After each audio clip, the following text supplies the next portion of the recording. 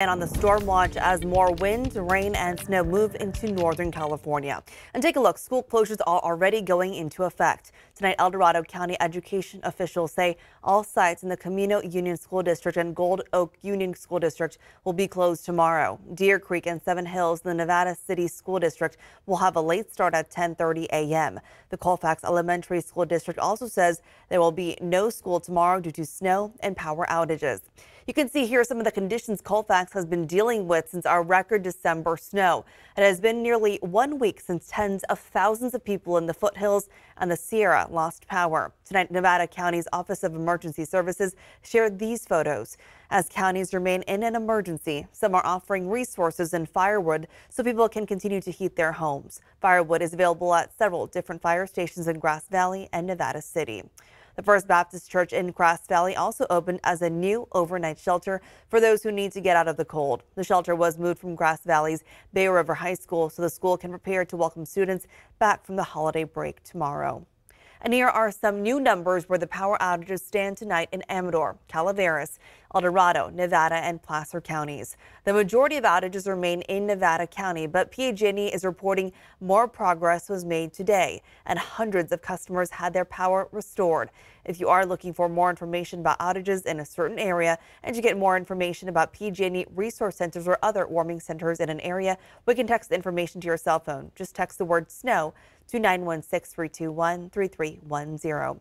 As we get over to meteorologist Tracy Humphrey, cold temperatures remain a concern. Well, the past couple mornings, it has been all about bitter cold temperatures, and this morning did not disappoint.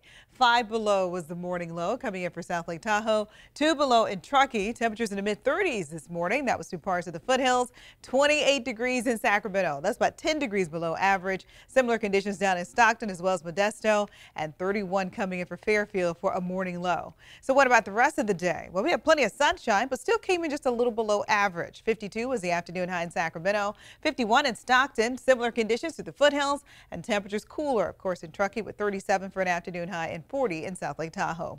As we move into uh, the day on what will be happening on Monday, things will definitely be changing. Clouds coming in throughout the day, chance of rain showers coming in, hitting the valley floor around mid-morning to early afternoon, and we'll see some snow showers moving in as well. So how much more rain and snow is in the forecast and when will it move out? We'll take a look at the latest numbers. That's coming up. Thanks, Tracy. As more weather moves in, all kinds of issues remain in the Sierra. Take a look at these new photos out of South Lake Tahoe. Fire and rescue had to respond to a gas leak at a mobile home park that was caused by snow removal operations hitting a line. The line was dug up and secured. And CAL FIRE shared these photos today showing the cleanup in Placer County. CAL FIRE says they continue to help people dig out and stress that weakened trees from the snow continue to pose a threat of falling on power lines and blocking roads.